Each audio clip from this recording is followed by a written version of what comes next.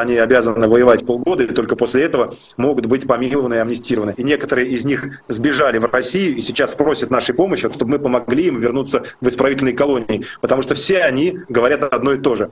А, начиная с а, начала осени этого года, а, вот это вот грушное ЧВК «Вагнер» и Минобороны начали практиковать расстрелы и буквально массовые расстрелы отказников, тех, кто пытается сбежать на позиции ВСУ, кто пытается сдаться в плен, кто пытается уйти в тыл. Вот это, вот это явление расстрелов, когда россияне убивают россиян из оружия якобы там за какие-то нарушения, это приняло массовый характер. У нас есть вот сейчас конкретно два заключенных, которыми мы занимаемся. Один из них нас слезно просит помочь ему вернуться в тюрьму, потому что он опасается, что за ним приедет служба безопасности ЧВК Вагнера, которые его положат в багажник, увезут в зону боевых действий, и там расстреляют и зароют в одной из траншей, как они это сейчас очень часто из делают. Из наемников ценные свидетели. Бывший командир отделения штурмовиков ЧВК «Вагнер» Андрей Медведев впервые заговорил с прессой после побега из России.